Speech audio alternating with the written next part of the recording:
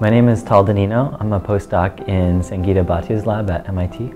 My research is to use bacteria as a way to treat cancer or diagnose cancer.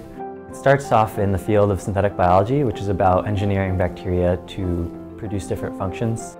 So the way that we engineer bacteria is through the DNA. So we basically um, have machines that print out small pieces of DNA and we use these to amplify genes that exist in nature and you can write down equations for how those um, genes and um, components will behave as a function of time or as a function of space. And from there you can think about building more complex circuits, building things like computers, and that's where we're going. We're really right at the beginning of this field. It's been known for um, a while now that bacteria can actually grow inside of tumor environments. The very first account of this was actually by accident. A female patient with a tumor on her neck came into the hospital and they put her in um, the bed of a, a previous patient who had a bacterial infection. And it turns out that her tumor actually got some bacteria in there. And what happened is the tumor stopped growing.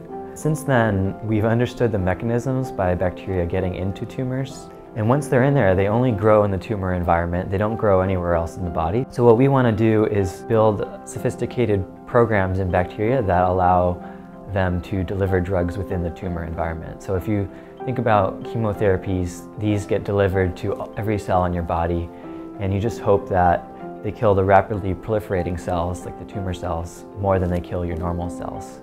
But with bacteria as a delivery device, they only deliver these drugs to, to right inside the tumor. What I did in grad school and the image is based on is uh, engineering bacteria to communicate with one another.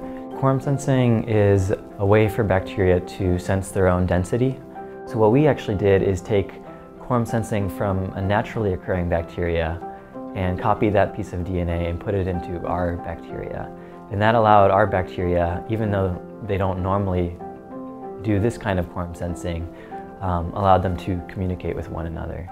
What you can see is, is the colony reaches a certain size, and that's at a level when the bacteria have communicated enough, they've produced a lot of this quorum sensing molecule that allows them to sense each other, and, and they um, produce a burst of GFP. And as they grow further in this sort of circular shape, they burst again and again and again. And what you see in this picture is the second burst, and you see this beautiful corona-like structure. Um, and that's why we called it the supernova, is because people thought it had a lot of resemblance to a supernova exploding.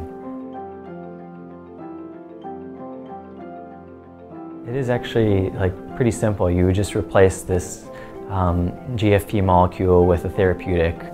Bacteria can make all kinds of therapeutic. It can be like a small RNA or a protein, all kinds of small molecules. Actually, a lot of chemotherapies originally came from bacteria, so um, they can obviously make those. What like excites me the most is actually that you can build things that have not existed in nature, and that's the most fascinating thing to me because um, you know you come in every day in the lab and you get to build something that nobody's ever built before, and that's um, something that's very fulfilling.